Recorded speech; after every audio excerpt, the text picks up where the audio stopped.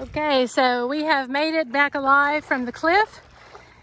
Our dinghy was still where we left it and undisturbed, but I'm sorry, the kayak, oops, cruiser brain. And we got back here and the tide was way out. So all of this area that we came in under paddling, we are now portaging out. So we did not put the fin on so that we could get over all of this.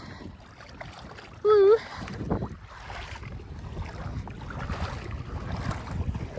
And it's a super fun adventure.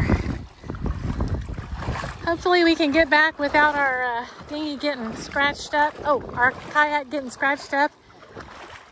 Out there, yeah, all that was under another what would you say? At least another foot, maybe two feet of water. So it was much easier to get here than it is to get back. But it's all part of the adventure. It's been great fun. And I think right here, we're about to put the fin back on the kayak and then we'll be paddling again.